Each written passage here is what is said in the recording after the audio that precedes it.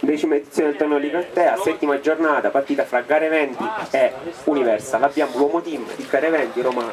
Complimenti la tua prestazione, hai fatto un gran bel gol, di tiro all'angolino, però purtroppo non è balzo per portare nemmeno un punto a casa.